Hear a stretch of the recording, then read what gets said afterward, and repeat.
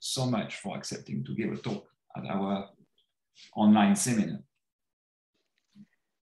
Um, thank you very much for the invitation. Um, I, I really appreciate the invitation and uh, I miss Montreal. As I said, I wish that one day I would be able to visit in person again. Um, so today I'm going to talk about constant curvature conical metrics. So this is a um, this is a, a, series of recent joint works with uh, Rafe Mazzeo, Bin Xu, and Misha Karpukhin on um, it's a it's a classical problem of a different uh, a differential geometry problem that's um, you can call it singular uniformization problem. And we brought in uh, some new analysis techniques, and we also brought in some uh, collaboration with complex uh, geometers and spectral geometers, and ho hopefully um, we will see more insights and, uh, from now on.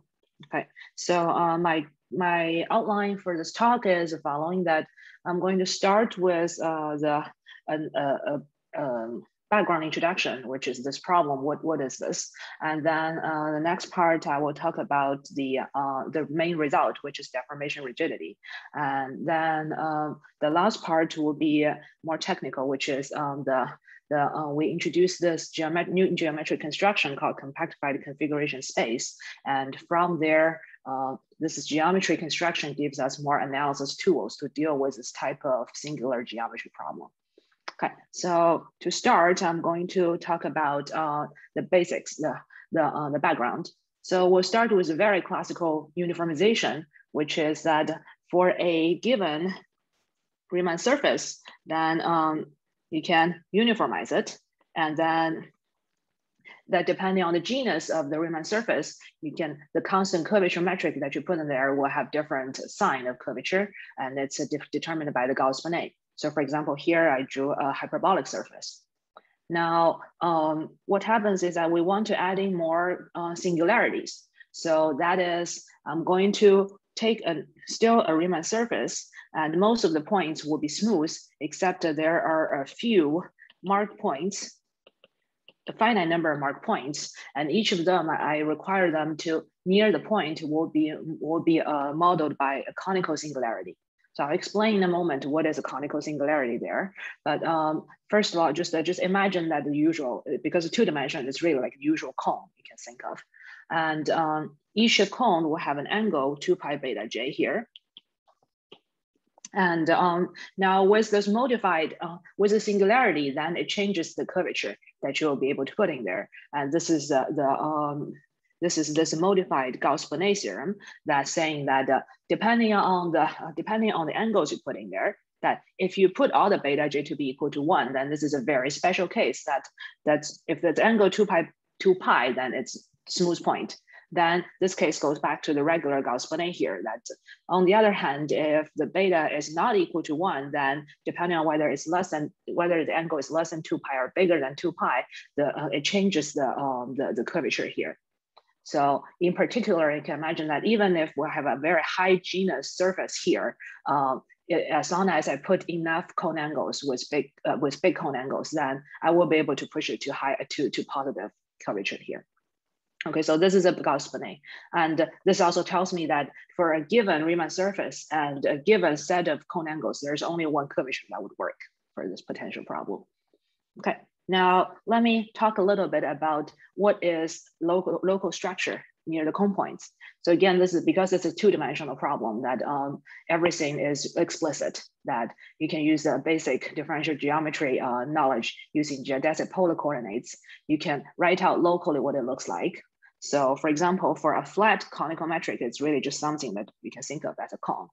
And um, and the local geodesic polar coordinates is written here that um, again, that when beta is equal to one, then this goes back to the regular flat metric, spherical metric, and hyperbolic metric uh, and in, in, in polar coordinates. On the other hand, if beta is not equal to one, then this is where the singularity appears here.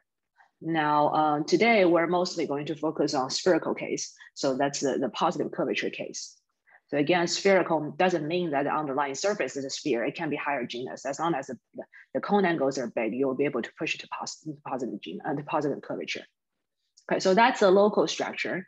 And um, there is another way to, to write it using uh, this conformal coordinates. But the point is that, uh, again, you can see that it's really this beta that's, that's carrying the, uh, the, the singularity. Okay, now, so the first question people usually ask is, is there any constant curvature conical metrics? The answer is there are quite a bit that um, there are many ways to, to generate this. For example, you can start with a, a smooth uh, constant curvature surface like a sphere or a, a, torus or a hyperbolic surface. And then you take a branch cover of this. So for example, here, what I'm doing is I'm doing a, a double cover of a sphere. And then you lift up the, uh, uh, pull back the, the metric to this double cover, then what? Uh, then it's still a constant curvature uh, metric and then except there are two singular points and each points depending on the branching indices it's going to give you a cone points with cone angle 2 pi times the branching index index so here it's uh, the, the, the thing above is still topologically a sphere but has two cone points each is angle 4 pi now the next uh, example is, uh, is slightly more non-trivial in terms of analysis the so-called spherical football so that is you take a, um, so you take a sphere and then you take the North Pole and the South Pole, and then you take two meridian and then cut this piece off, and then you glue the two sides. So this way you'll create two cone points at the top and bottom with equal cone angle. And um, not only you can you can do it for small cone angle. If you take many of such pieces and then just keep wrapping around until you wrap to the last end, the, the, the, the last end, uh, the last edge and to, to, to match the first edge, then you will get a two pi alpha where alpha can be very large. So this way is another way to create this um, very special shape. And um, the, the, um, the one very um, one feature of the special shape is that it's very rigid. That um, if you look at this construction, that there's no way that you can push off the top or the bottom away from the North Pole and South Pole. That all the geodesics connecting the, the, the top and the bottom has to be equal length. That and it's it's proved that it's that's the only construction you can do. And um, that and uh, well, that's a, that's a case when alpha is not an integer.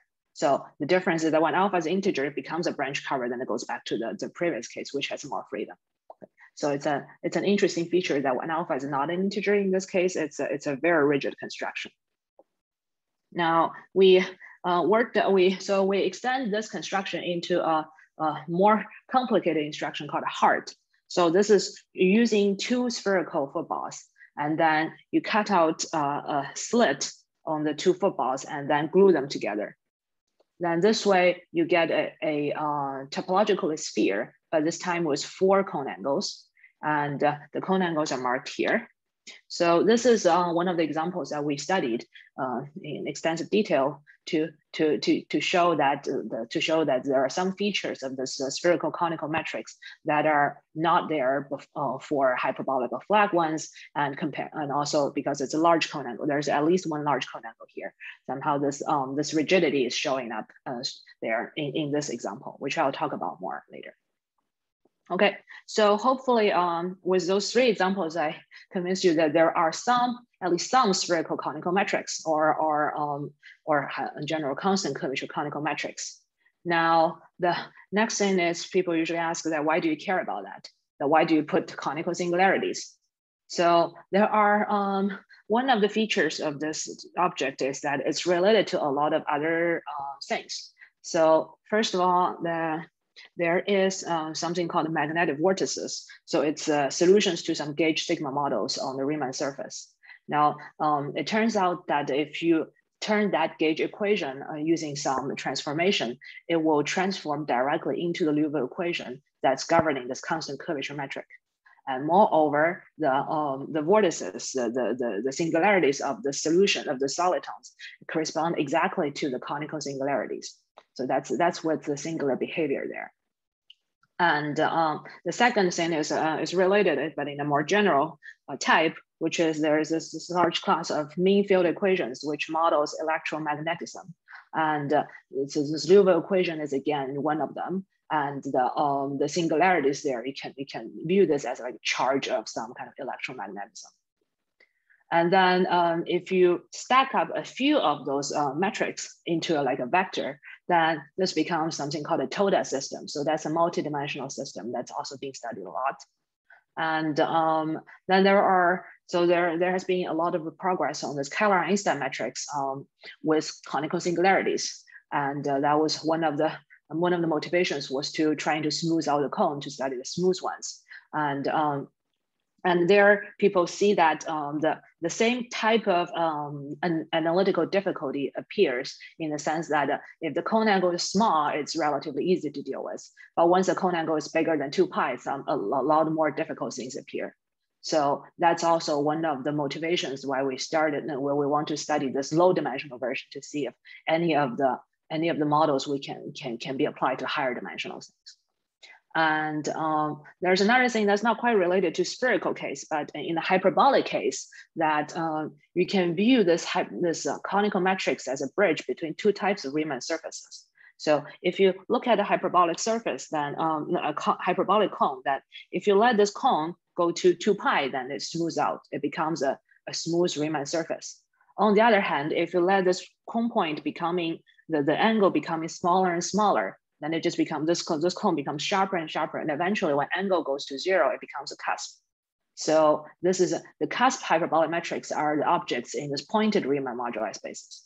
So you can view this cone, cone this moduli space of hyperbolic conical metrics as uh, the bridge between two types of moduli spaces, which is this pointed ones and unpointed ones, which are both studied a lot. And uh, the, the topology of the, the two types of moduli spaces are very different. So you can you can view this hyperbolic conical matrix modular space or something in between. So that's um, that's some of the motivations that why we want to why we're interested in this type of objects. And uh, another thing that's more like a feature of this object itself is that um, it can be approached in many ways. That it's connected to many fields. That um, First of all, there is the, the PD approach, which is the main approach we're going to talk about today. So that is you treat your solution, uh, you treat the, this uh, curvature, this constant curvature conical matrix as a solution to a Liouville equation, but with singular boundary conditions, or you can say, uh, uh, but, but with um, uh, but with singularities in the equation itself. And uh, a second way to deal with it that's very also very common is that you to use complex analysis that you treat this conical matrix as a special uh, type of projective structure. And then you can use developing maps and Schwarzian derivatives to characterize this. Then you solve this equation, which is gives you a complex uh, valued ODE. And then people you will use complex methods to solve that. And uh, the third approach is that because it's two dimensions, so it's actually easy to, to visualize that uh, you can use synthetic geometry approach, which is cut and glue. So you just cut pieces out from a sphere, like spherical triangles and some or, or spherical quadruples, and then you glue them together. And uh, this way you can create surprisingly many different examples. And so those are some, some, some of the reasons why we are interested in this. And now, uh, now let me talk about, um, let's see, okay. Now, let me talk about the, the, the, main question that we're interested yeah. So the main question is the following: that uh, it's a uniformization question. So just like before, that in the classical uniformization is that if you're given a uh, a conformal structure, can you find a unique constant curvature metric? Now here it's uh, just slightly modified with more data. So here we have the following data, which is first of all a conformal structure given by the Riemann surface, and then we have um, endpoints and uh, and cone angles associated to the points. Then the question is that given this data, of course, this determines what kind of curvature you're looking for. Then does there exist a unique constant curvature conical metrics metric on, uh, with this data? So, so this is a question. And um, this question has been answered in, um, in several ways. So the, um, to, to, to give you, uh, um, so to just to, just to tell you what's uh, what's really there, I'll divide this question into four types, which using um, curvature k, which is minus one or zero or one, and uh, angle beta, which is all small or some of them is large. All small means that all the angles are less than two pi. Then this um, combining the result by Heins, McOwen, Troyanov, and Luan Tian, they the following three blocks are solved. So this is that if um if the if the so first of all, if the uh, the Gauss-Bonnet is is asking for hyperbolic or flat metrics, then it just uh, it, it just there is a unique constant curvature metric. So that's it. I mean, for flat ones, there is there is a scaling, but uh, taking out the scaling, that's the only thing to have. And for for the uh, for the positive curvature case, you need to be you need to have the angle to be all small, and moreover, the angle actually has some more constraints, uh, uh has some uh, has one combinatorial cons uh, constraints. But with that, then um, then, then the, the result by Troyanov and Luo and Tian show that there is a unique constant curvature conical metric that uh, no matter where the cone points are, that you have existence and uniqueness. Now, the so just like in the usual uniformization case that once you know how to uniformize within one single uh, conformal class, you want to understand the moduli space, which is when you vary the conformal class, what happens to the curvature, what happens to the constant curvature metric above.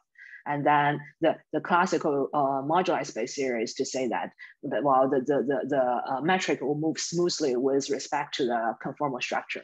And that is a moduli space and it is smooth most of the places that. So um, similarly, there is a story here that for the um, for for here and here, really that um, for the three blocks here, that um, the result of Mazzeo and Weiss, they showed that there is a well-defined uh, moduli space.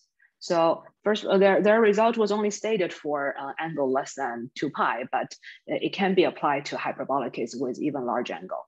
So that uh, you can show that there is the, the moduli space is smooth in the sense that uh, the, the metric actually moves smoothly with respect to the conical data, which includes the, the, the uh, hyperbolic, uh, which includes the conformal structure, the cone angle, and the cone positions. And uh, this is a dimension, the, the, the total dimension of all the parameters. So that's the story for the three blocks. Now, of course, uh, you will be asking what's the what's left of, what's left. Well, there is one block left. Now, it turns out that the story for the, the block that's left is very different. That um, the, so the remaining case is when um, we are asking for a positive curvature and then at least one of the cone angles is greater than two pi.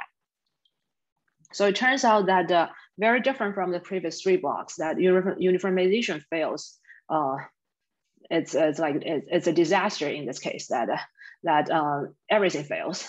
So first of all, um, existence fails in the sense that uh, there are constraints on conformal structure, on cone angles, and sorry, on, on compositions, cone, cone angles, and conformal structures. And um, so currently, we still don't have the whole picture of what's the constraints. Currently, the combining all the results, we, we know in some cases what are the constraints. And then um, the the, the next thing is that even for the admissible uh, uh, data, for admissible um, conical data, the uniqueness usually fails. That um, first of all, there are examples by Chen Wang, she showed that there are there are cases when you're given just one set of conical data, you have a whole family parameterized by a, a, a real parameter family of metrics just for the same conical data.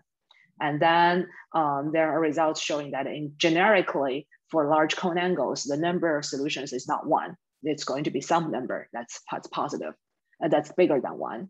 And um, currently the conjecture is that um, for a generic set of admissible con conical data, the uh, number of solutions should be discrete or hopefully finite.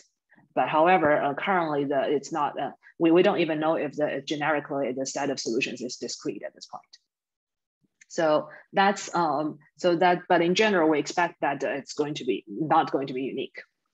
And then uh, now uh, similarly- are, there, yeah. are there example where there's an infinitely many uh, solution?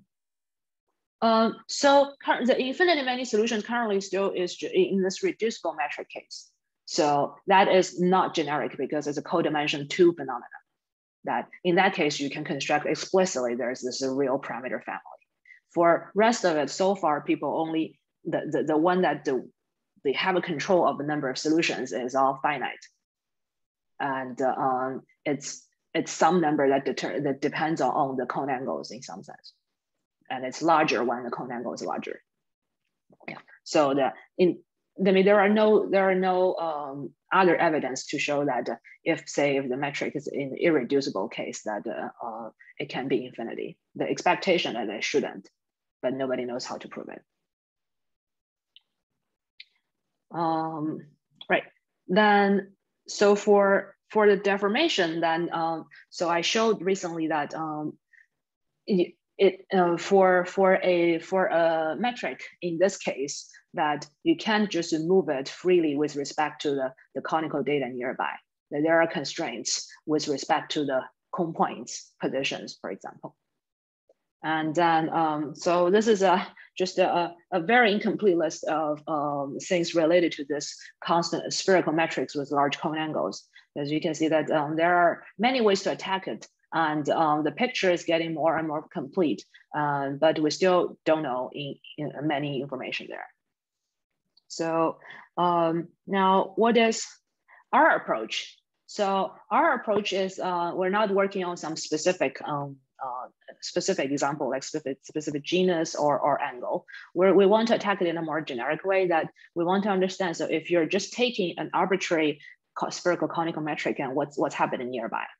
Now, um, so, on, uh, so we give um, some understanding of this local structure of the moduli space.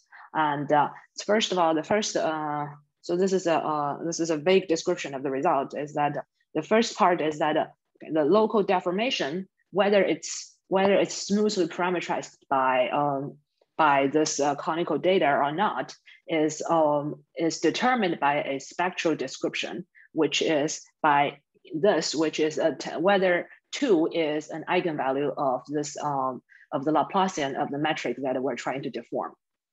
So here, FR means Friedrich, uh, Friedrich uh, um, extension, but that's just um, some, some self-adjoint extension. But the point is that um, it's completely determined by the, um, the, the, metric itself at this point to whether, whether it can move freely nearby or not. And then the second thing is that uh, when it cannot move freely nearby, uh, what happens is that we can put it into a, into a larger space so that it can be desingularized that this moduli space at this part you know, will be singular, but if you put it into a larger space, then it can be viewed as a some kind of manifold with corners inside a bigger thing. And uh, here, the, the way to enlarge the space is add more coordinates by splitting corner points. So you put it into larger space. So that's basically our, that's our main results of understanding what's the local structure. And uh, uh, now let me say a little bit about uh, what's our approach. So our main approach is to solving a nonlinear PDE, which is this singular Liouville equation here. So this equation is really, um, it's, a, it's a classical conformal structure equation that's a conformal chain transformation equation that if you start with a model metric G0 and you ask for a constant curvature metric to be in the same conformal class as so e to the 2u times G0, then this is the equation that's uh, relating the, the two Gauss curvatures of the of the model metric and the constant curvature metric. And here, uh, in our case, k will be mostly one. Then we're solving this equation. Now for, uh, if it's smooth, then, then that's a regular, uh, that's a classical uniformization. But the point is that uh, this GCC, this G constant curvature metric, uh, the constant curvature metric has conical singularities. So it either, you can either put it into this conformal factor or put it into this G0. So I'm not going to talk too much about it, but the point is that you have to put the singularity somewhere which means that the singularity will show up somewhere in this equation. So either it shows up as a boundary singular boundary condition or shows up in this uh, model metric, which has a model, which has a singularity for the Laplacian. So our approach is that we treat this as, uh, we're going to treat a singular Laplacian here because this is a, um, this, is, this type of conical structures has been studied by microlocal analysis for a long time. And there are, there are general theory that you can deal with this kind of Laplacian. So that's uh, our approach to, to, to solve the singular equation with a singular operator. Now, uh, just to give an idea that what we're doing here, I'm going to um, draw this picture. So this is, um, so I'll explain a little bit what's, what this picture is. So the picture is the following that um, I'm going, so we're going to, first of all, fix the angles from now on. And uh, I'm going to only care about the, the solutions where I'm varying the cone positions. Okay, so I want to see that I start with a G0, and if I move the compositions, can I get also um, constant curvature metrics nearby? So first of all, there's a huge space which I don't care uh, if it's uh, if it's a constant curvature or not. And then there's potentially a slice here which has a constant curvature. Now I want to see whether the slice is a, is a nice slice or not. And uh, so it can be this the slice can be realized as the, um, the, the, the, the solution to this curvature map. So this curvature map is just the, the one that I described that if, if this, um, if the right-hand side is equal to zero, then this means that it's, it's a constant curvature. So the question is, can I view this map? Can I solve out this equation to get the slice? And moreover, I want to, I, I hopefully I can, I want to uh, parameterize the slice by the following projective map, which projects to the compositions, which is here. So that's, uh, that's why I put a, put another projection direction here. Okay. But the point is that uh, in general, for this picture to, in order for it to work, you can, and if you, if you know some, if you um, deal with this kind of perturbation problems, this picture is familiar in the sense that uh, you can, you basically just need to know at this point whether you have a nice linearization or not. Now, the linearized operator here is this Laplacian G zero minus two because this is the linearization of this operator. So the if this operator is nice, then this is a standard picture of implicit function zero. So I'll, I'll talk about that in a moment.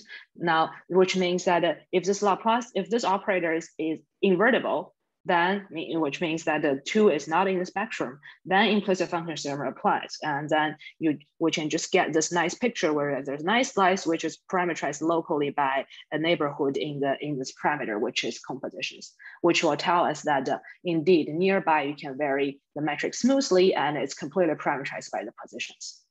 Now, the but of course the, the, the it's not so nice for a reason. The reason is that uh, we'll have a problem when two is actually in the spectrum.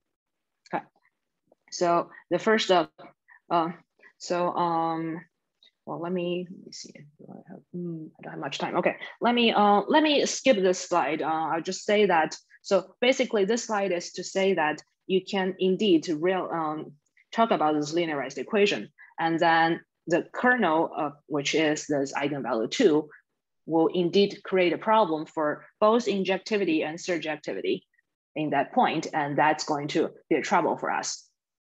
And um, now the question is, does that actually happen? So it turns out that um, first of all, when all the cone angles are less than two pi, that it doesn't happen very often. And in fact, it's uh, the only the only time it happens is, is with the spherical footballs that I talked about. So which also which is also uh, showing that why the spherical football has this uh, weird rigidity compared to other things. So here, um, the, the way to prove it is people used Bochner's technique or integration by parts to show that two is actually exactly the lower bound of eigenvalue for spherical conical metrics if all the cone angles are less than two pi. And you only hit two when it's a football. So that's, which is also why that um, and also, while it's true for hyperbolic and flat metrics, they just don't hit two. In that case, the, the, the sign of Laplacian is, is good. So uh, in, in so this also shows that why the three other blocks are so nice in terms of analysis because well the, the linearized operator is a nice um, invertible operator and everything applies. Now the question is, so unfortunately, when at least one of the cone angles is bigger than two pi, this kind of Bochner technique wouldn't work anymore just because you're doing integration by parts. And when you are when you have a large cone angle, this means that the, the function you're going to integrate is actually going to be more singular near cone points. And then integration by parts just wouldn't work anymore. That you'll get an infinity greater than equal to infinity case, which doesn't tell you anything. And um, in fact, this, this lower bound two is does not hold here. There are many examples to show that you will be able, you, you, this two is going to be in the middle of the spectrum and you'll hit two many times. So for example, that uh, footballs with, with large cone angles or this heart that I constructed was gluing two footballs or gluing many footballs together and uh, or branch cover of standard sphere, all those things has two in the spectrum. And uh, so, um, so this is hopefully convincing you that we do have a problem when large cone angle occurs. And uh, Moreover, that um, so so that's this is a motivation of some of the uh, my recent work to find where where this eigenvalue two actually appears. So the first, uh, the first result in this direction is that I showed uh, with Xu that um, there are there is a class uh, of metrics called reducible metrics, which is essentially, which is saying that its monodromy is in some reducible class, and essentially it's just saying that the metric has some kind of symmetry, and then this whole class they all have this two in the spectrum. And in fact, this two can be can be used as a spectral condition to characterize reducible monodromy. So it's actually an, uh, it's, a, it's almost an if and only if condition.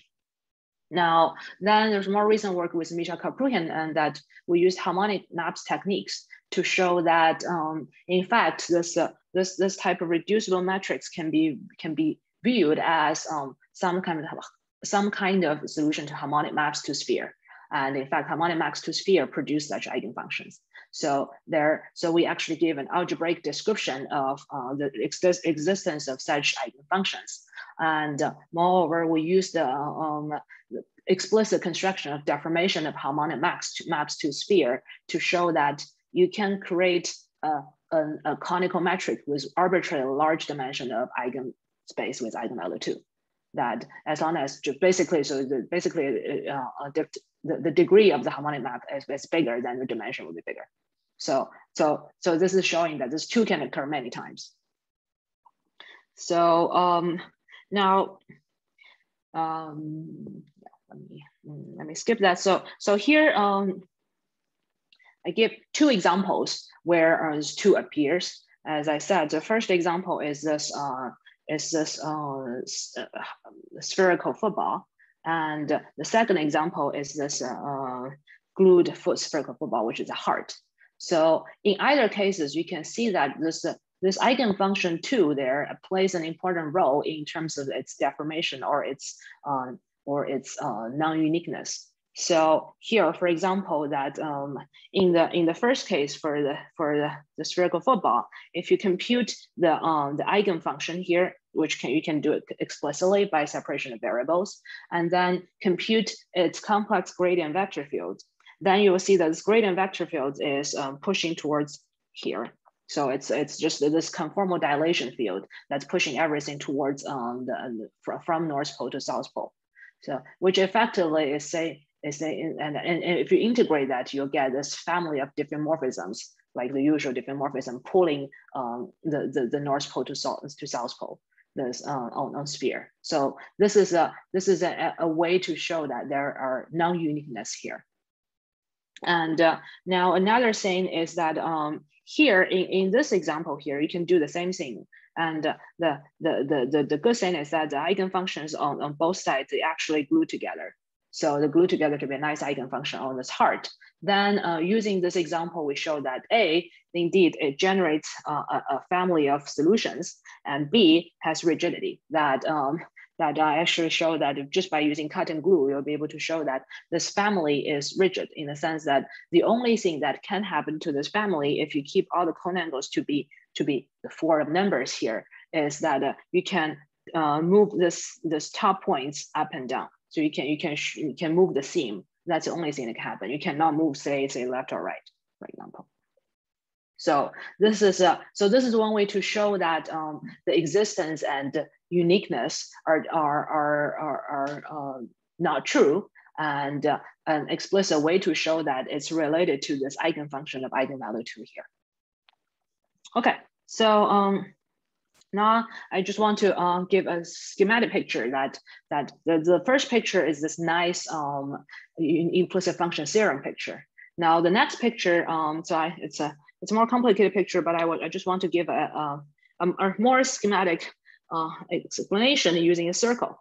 So the so I'll give an example here that just, so basically if we are staying on the left, well, if we are hmm, if we're at this point on the right, sorry, on the right, and then um, if we only have x direction as our coordinates, then the differential here is going out. And this is a bad differential in the sense that it doesn't characterize the circle.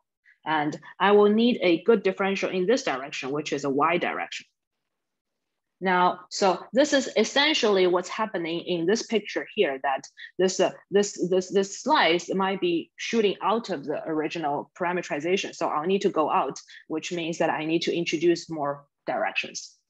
And uh, now you might want to ask that, so what happens if I know that the good direction, the tangent direction is actually along this direction? Now I'll give you another example, which is on top of the, the circle here that in this on, the, on top of the circle that this dx is already a good differential. However, if I only have x coordinates, then I will only be able to see a point here. I won't be able to see the circle. So this is a, just to say that potentially what ha could happen is that this projection down is tangent to the original coordinates, but the actual solution is actually out. So this is a, so we still need this y direction there. And this is the, the y, mm, so this is the y direction that we includes, which is the splitting. So the idea is that uh, the original just compositions itself by moving cone points is not enough. That um, in many cases, we'll need to include the splitting of which has more directions here. Okay. So that's um, the basically the picture we have. And um, to make it work, unfortunately, that uh, it's not uh, it's not so algebraic that uh, and everything is singular. So in order to set it up, we need to work on the space because the space is not is not um, is not so nicely set up. So that's why that's a, a lot of work where a lot of work is.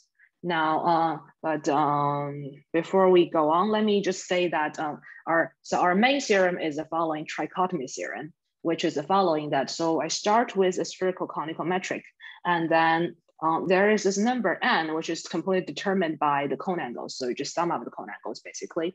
And then the first uh, result is that um, the, the multiplicity of the eigenspace with eigenvalue two is actually constrained that it can be at most 2n. Then there are two cases, uh, so by, it's a stability condition basically. And there are three cases, whether A is when there are no eigenfunction at all, B is that it has some eigenfunction, but not maximum dimension. And C is that it's maximum dimension. So our main result is that in three cases, well, in three cases, it corresponds to different scenario of, uh, of, um, uh, of um, deformation. So the first is that if the eigenvalue has no eigenvalue two, which is this implicit function theorem case, the nice case. And then we show that there is a smooth neighborhood parameterized by cone positions and, well, in this case, because it's fixed cone angle, but if you can include cone angles and conformal structure without any problem. So it's a, just the, the nice case.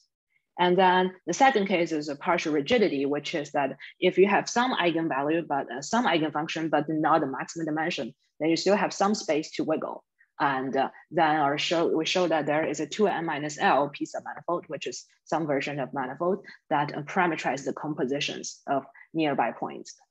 So that you have some space to go, but the point is that you might need to split cone points in order to get the space. And the last case is the so-called complete rigidity. That is, if you hit the maximal dimension, then this point is a singular point in the sense that you don't have any smooth neighborhood any nearby. So I should also say that currently all the all the examples we uh, we found is in case one or case two. We haven't seen any spherical conical metrics with with the, the with the maximum uh, dimension of eigenvalues yet. So we don't know if this three actually exist or not. Okay, so that's the result. And um, now uh, I still have let's say five minutes. Um, so um, so I said that uh, this picture that we, we said, including Y, is not so simple because it's not so algebraic. You need to do analysis. And uh, the analysis we introduced is the following so-called blow-up analysis or scaling analysis. So I, I won't talk too much about it, but I just want to show you a picture. What's, what's happening here is that you uh, introduce this blow-up model near the collision, which in terms of picture, kind of looks like the sun hat picture that uh, you introduce this uh, this new uh, bubble to to blow up to, to do blow up analysis near the collision. And then, um, so this type of um, behavior is very, um, in some sense, has, has seen in, in, in many places. And um, the, the point is that um, that geometrically, this we introduce a bubble in the space, and ana analytically, we introduce polar coordinates in this area to do analysis. And of course, when there are multiple scale of bubbling, then you have a bubble tree construction. So that's, um, and there, this kind of iterative singular structures has seen in many places.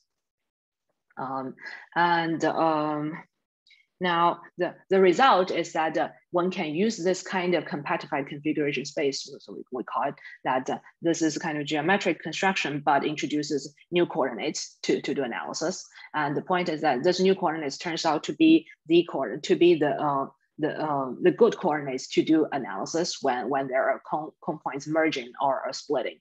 And uh, our first result on this direction is to show that on this resolve space with this bubble tree construction, that uh, you can characterize um, this family of constant curvature metrics when the when the cone points are merging. And um, now the first, so we first dealt with the first three blocks that I talked about. So that's hyperbolic or flat or spherical with cone angle less than two pi. And uh, the point is that uh, we, we are able to show that the solutions are polyhomogeneous on the space, which is basically a maximum smoothness you can expect in this case, which is more or less like full Taylor expansion, but the powers might include non-integers. So that's the only difference. And the non-integers are determined by the cone angles. So um, now the point is that um, we are able to solve the curvature equations uniformly with uh, using the new coordinates that are introduced in this geometric construction. Now, if you just solve one of the equations like that with fixed parameter, that, that's just uniformization, and that's done 30 years ago. Our approach in this, now our contribution for this part is we show that you can solve this family of equations where the parameters are actually degenerating, and you're able to construct, uh, con to control the solutions uniformly when even, even when the parameters are degenerating. And um, then moreover, we show that there are, there's nice expansion and the leading term is exactly this geometric picture that we showed earlier when you have the sun hat thing that's coming up. And then um, the, the next thing is that we apply this machinery to understand the big cone angle case, which is which is what I said that uh, we we want to introduce this more y variables. That's how we introduce the y variables. And then um, the so I do want to talk about that. Um, so in the end, what we showed is that uh, this local, local deformation is completely determined by the eigenfunctions, actually, that um, the First of all, uh, we know that splitting creates extra dimensions, which fills up the co-kernel, which is why we're doing this. And then um, moreover, we showed that the direction of admissible splitting or admissible deformation is completely determined by the expansion of the eigenfunction. So uh, the point is that uh, each eigenfunction will give you some kind of a vector by local ex local expansion, and then those vectors will give you the the that will. And the, the tangent of the splitting directions are actually given by vectors that are orthogonal to to those, all those vectors. So that and uh, that's that's why that's that's completely determined by the eigenfunction. And moreover, you can immediately see that, well, when we have more eigenspace, which means that you have more constraint on B, then there are fewer vectors that are complete orthogonal to everything. So that means that there are more constraints on the direction splitting. So that's why we have this, uh, we have this constraint on, on the dimension of local deformation. And moreover, that um, this whole thing that how do you get the splitting directions from those vectors is completely algebraic that uh, you can by solving uh, some kind of polynomial equation. And so, well, I'll, finish with one last example, which is this heart that, so we call it open heart surgery that um, you can find um, a way to completely determine the deformation direction near the heart. Um, so for this one here, I'm going to uh, assume that alpha and gamma are the same and they are all less than two pi. So I only need to split up one point, which is the four pi point. And then you can, using this algorithm that I described earlier, you can um, expand, uh, obtain an expansion of the eigenfunction near this point, which will tell me that um, there, there, the, what's the admissible splitting direction. And then you can see that um, either you can split this way or this way. Now, it turns out that only this way is allowed, that this is okay, but this is no. That, um, and in fact, for this this you can construct by hand, and also for this one you can compute it by by just uh, suppose there's such a shape, then you'll you'll, you'll be able to uh, split it into six pieces of spherical triangles. Then by spherical trigonometry, you'll be able to show that this does not happen. Just it cannot happen. So that's um so that's uh, but uh, but uh, for our algorithm, you'll be able to in theory, if you know the eigenfunctions, you'll be applied, you'll be able to apply to more complicated shapes to determine all the local deformation. Okay, so that's um, all I want to talk about and thank you very much. Thank you, thank you very much. Uh, uh, uh, uh probably there are some questions or, or remarks from the audience. Um, personally, I have one question coming back to uh, if you could uh, show us mm -hmm. again the trichotomy, the, the, yeah. main main theorem. So, yeah. so when you were saying that you had examples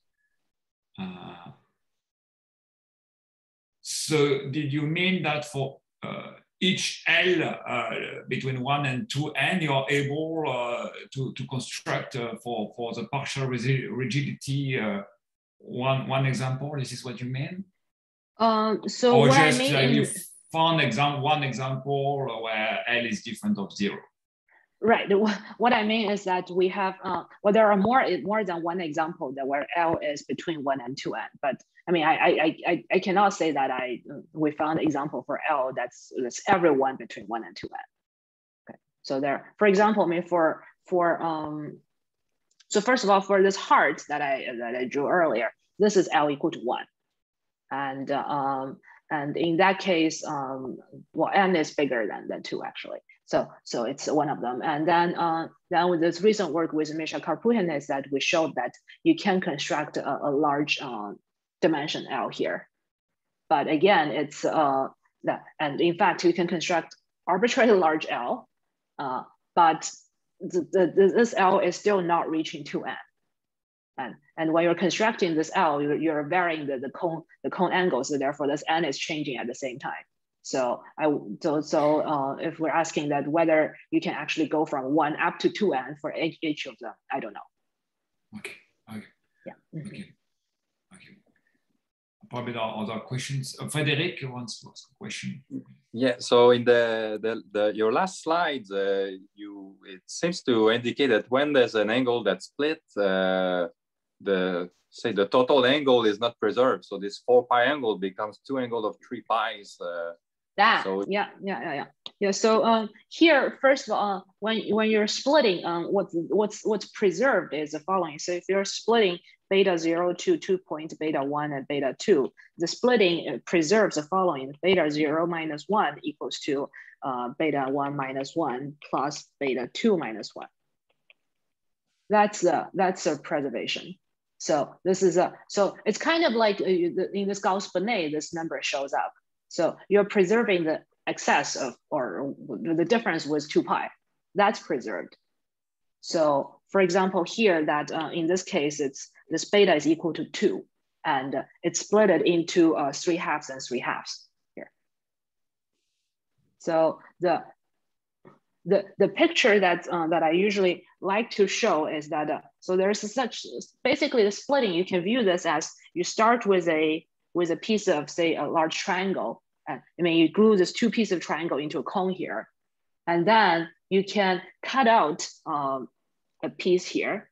So I'm going to, uh, I'm going to use this to say that this is this part is cut out.